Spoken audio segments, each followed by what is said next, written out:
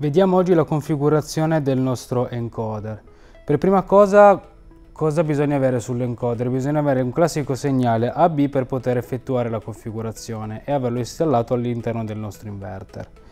Inserita tale scheda, occorre quindi andare a configurarla. Bisogna andare quindi nelle impostazioni complete, nel menu dedicato della configurazione dell'encoder, che ci comparirà soltanto quando andremo a inserire una scheda dedicata, e all'interno andiamo a definire il nostro encoder, quindi nel nostro caso avremo un encoder AB.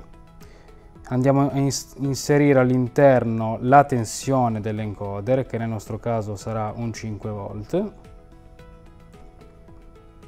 Attiviamo il nostro encoder per definire che cosa deve fare, quindi la regolazione della velocità, e andiamo a lanciare la verifica dell'encoder come si effettua la verifica dell'encoder, una volta impostato su sì questo parametro andrò fisicamente a chiudere il mio comando di marcia e a dare un valore di frequenza maggiore di 15 Hz per poter fare il check dell'encoder.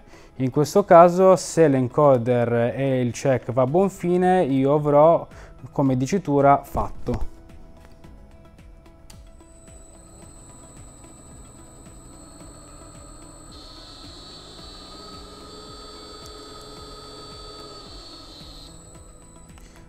Ok, vediamo quindi che il nostro encoder è stato eseguito correttamente.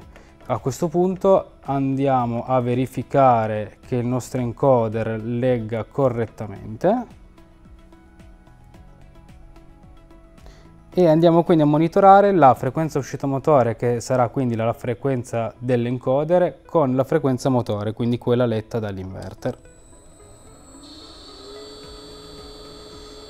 In questo caso vediamo che la frequenza è perfetta.